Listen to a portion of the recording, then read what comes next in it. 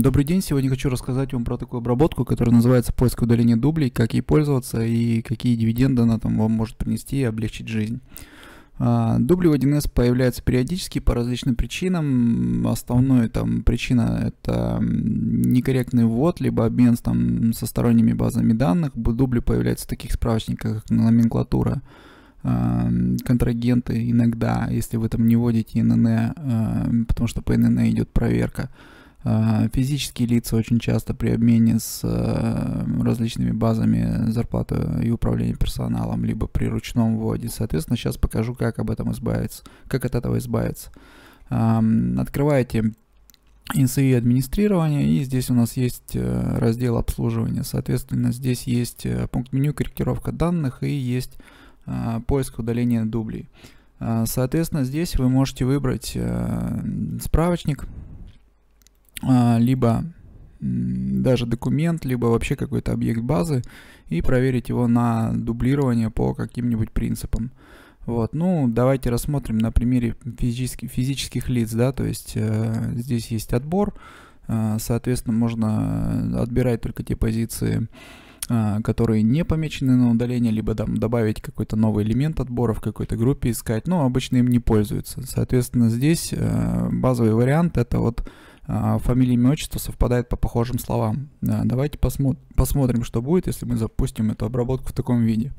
А, нажимаем кнопочку «Найти дубли», и программа нам находит большое количество дублей, да, то есть, но опять же, если посмотреть внимательно, можно увидеть, что программа считает, что, а, допустим, дубль, который называется Дубинин Петр Николаевич, это одинаковые элементы, которые вот называются Дубинин Петр Николаевич и Дудиков Петр Николаевич. Иванов Петр Федорович, вот здесь одинаковые, да, то есть, ну, очень похоже на дубль. И вот Петрищев Олег Константинович, здесь совпадение по слову Константинович, и Геращенко Ольга Викторовна, здесь совпадение э, по имени отчеству Ольга Викторовна. Соответственно, дальше программа помечает ту позицию, которая которая, по, по мнению программы, да, то есть э, является оригиналом. То есть каким образом она это делает? Э, вот здесь есть э, такой флажок, да, то есть, который указывает количество мест использования. То есть, чем больше э, мест использования для конкретной позиции, тем, по мнению программы, она оригинальнее, да, то есть, э, ну, по сути дела, если у вас там, допустим, э, идет использование двух одинаковых элементов, да, то есть один использовался один раз, а второй там 55, то логично, что тот элемент, который использовался 55, э, э, является оригинальным, а второй является дублем. Но вы можете это переопределить и сказать, что вот наоборот другая позиция является оригинальной. Вот, допустим, я сейчас нажал, и вот эта клавиша поменялась. Вот таким образом это делается. А, ну, а, давайте сначала избавимся от э, лишней информации, да, то есть вот сравнивать FIO совпадает по похожим словам, мы сделаем следующее, то есть мы просто нажмем, что FIO совпадает, найти дубли, и, э, соответственно, здесь у нас появятся следующие варианты э, только Иванов Петр Федорович. Но опять же, не все так однозначно, там, как говорится. Э, давайте посмотрим, что это за Иванов Петр Федорович, да, то есть вот Иванов Петр Федорович здесь и здесь. Э, в чем нюансы использования этого справочника? Э, нюансы использования справочника, что э, справочник физические лица, да, то есть может содержать две одинаковых позиции – то есть у человека может быть полностью одинаковая фамилия, имя, отчество, однако при этом у них могут быть разные даты рождения, либо разные документы, либо разные НН, конечно же. То есть э, вот здесь есть э, такая графа уточнения, соответственно, можно информацию отсюда убрать и э, попробовать сохранить позицию, когда полностью вот э, полностью одинаковая на э, полностью одинаковая фамилия, имя, отчество. Соответственно, нажимаем «Записать», и нам программа э, говорит, что физическое лицо с такими фамилиями и отчеством уже существует в информационной базе. Это вот конкретно нюанс справочник физических лиц. Поэтому требуется уточнение. В качестве уточнения лучше всего для физических лиц использовать дату рождения, да, то есть у вас э, элемент будет выглядеть вот так, Иванов Петр Федорович, 80-го, Иванов Петр Федорович, да, то есть э, 78 -го года рождения. Соответственно, для физических лиц э, набор э, фамилии, имя, отчество и дата рождения это практически стопроцентная уникальность. Ну, по крайней мере, э, куда бы вы ни пришли, в какую организацию, там, в больницу, в военкомат, там, еще куда-то, вас практически везде будут спрашивать фамилию, имя, отчество и дату рождения. То есть это по всем ГОСТам самая уникальная информация.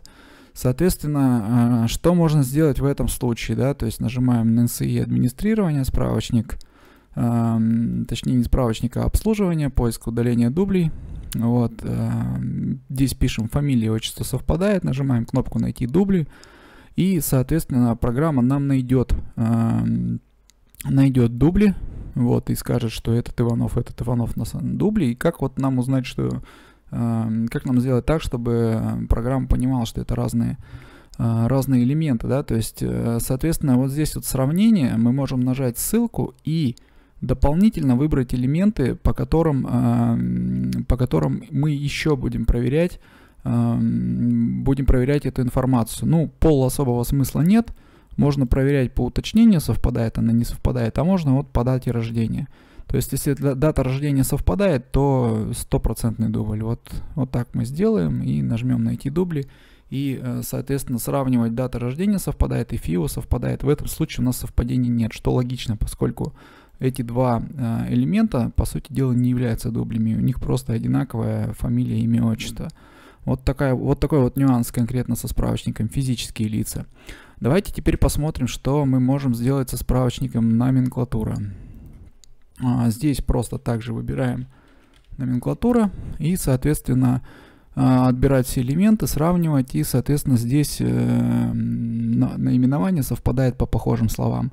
И сейчас нам программа выдаст э, достаточно большое количество дублей, вот, э, где мы можем увидеть, что также есть похожие слова, да, то есть, и, соответственно, программа считает, что это одинаковые позиции, и, соответственно, нужно внимательно смотреть. Вот, допустим, программа ассорти и барбарис, да, там, э, и слова негоден, да, считает, что это одинаковые позиции. Она считает, что ботинки женские демисезонные, ботинки мужские демисезонные это одинаковые позиции.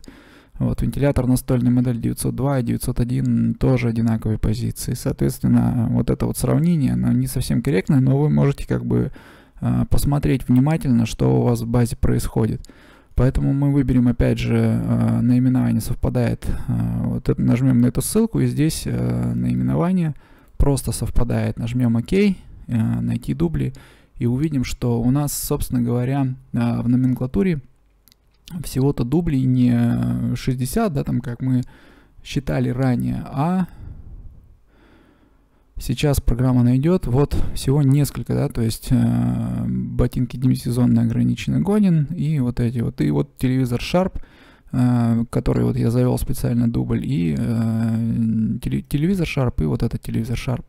Вот, соответственно, э, в чем нюанс, да, то есть вот этот телевизор Sharp используется 95 раз, и если мы нажмем на кнопку подробнее, мы увидим, что э, где он используется, да, что он во всяких ключах аналитики, в единицах измерения, в вводе товаров, а, в возврате товаров от клиента, вот начальных остатков, доверенность, заказ, отбор, перемещение, план закупок. То есть мы понимаем, что вот 95 раз использования вот этой позиции, это, скорее всего, э, вот эта позиция основная, а вот это ее дубль.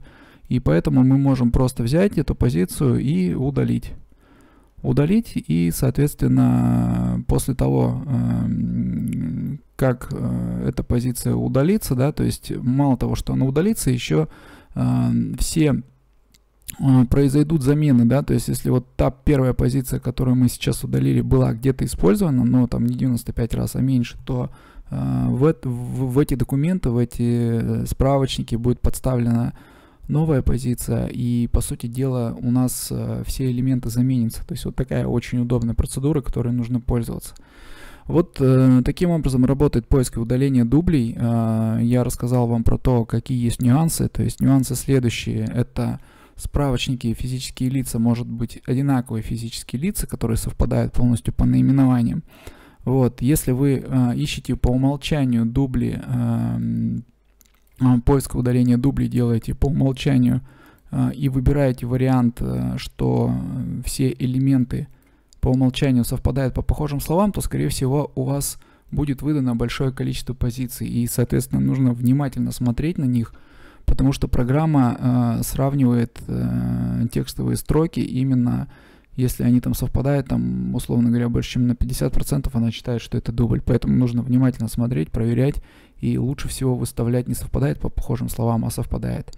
Используйте эту обработку, если у вас появляются дубли, если у вас а, существуют а, какие-то а, сложности с, с загрузкой данных из различных систем, а, допустим, там из розницы, либо из зарплаты управления персоналом, либо с интеграцией с сайтом с 1С Bittrex – используйте эту обработку, а, меняйте данные, делайте это быстро, автоматизированно, и, соответственно, если у вас возникают какие-то вопросы, мы обязательно в этом вам поможем. Просто обратитесь на нашу линию консультации, жмите лайк, ставьте колокольчик, подписывайтесь на наш канал. Надеюсь, что это видео было для вас полезно. Большое спасибо.